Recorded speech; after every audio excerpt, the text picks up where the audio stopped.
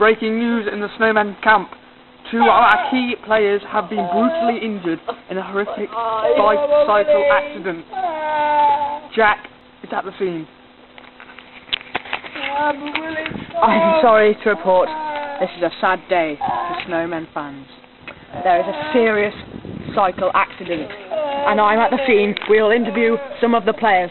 Tom, how serious do you think your injury is? My eye! Look at it! My eye!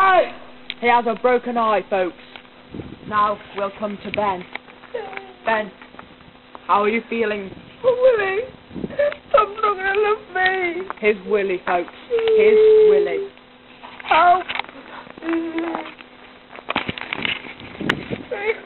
Look at that! Look at that! Would you look at that?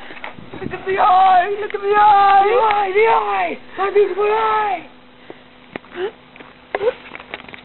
We are sorry to announce that Tom's prize-winning face could be ruined forever. We leave you now with these horrific pictures.